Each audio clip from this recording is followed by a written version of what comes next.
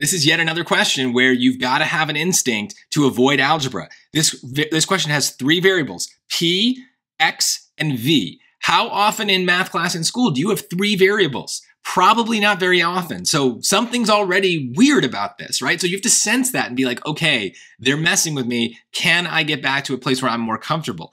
Plus, when we scan these answer choices, notice we keep seeing something in these questions. If we get, if we made x equal to zero, the only thing we'd be left with is these last terms, and they're all different. So x equals zero is going to get us the right answer here. Other numbers might not work out as nicely, but I'm always going to try zero if I can because it's so easy. So what that means, though, is that we're making a random number, random, x equals zero, for uh, the x, but with the P and the V, since those are dependent on our value of X, we're not going to make random numbers for P and V. We're going to solve those out, right? So P is going to be 3 times 0, which is 0, plus 4. So let's just get rid of the 0 and P is 4 and V is 5, right? So it takes two seconds to do that. Now, what did they want? Let's be really careful. We wanted P times V minus 2P plus V. So if you can't do this in your head, that's okay. Split it apart, right? So P is 4 and V is 5. So 4 times 5 is 20. Minus 2 times 4 is 8 plus 5. So that's 12 plus 5 is 17.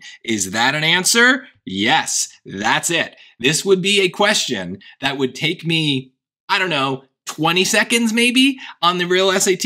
And this is a hard question. There's a lot of moving parts here. And there are definitely things that would be very annoying to deal with if you had to plug in the value of P, because that's what they want. The College Board explanation here is going to say take this entire equation for P, substitute that in here, take this entire equation for V, substitute that in there. So you've got a FOIL, you've got to combine like terms, you've got to distribute a negative. This is a nightmare. This is going to be a huge opportunity for careless mistakes mistakes. Don't let them do that. If you put in zero, what's the worst that could happen? That you add wrong, that you multiply wrong?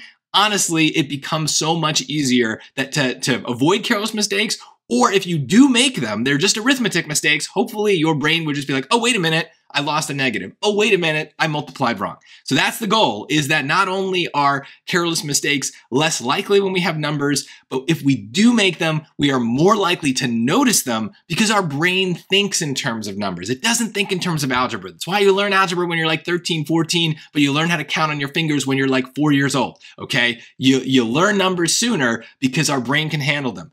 Algebra, much harder, much more complex. So stay away from it whenever possible.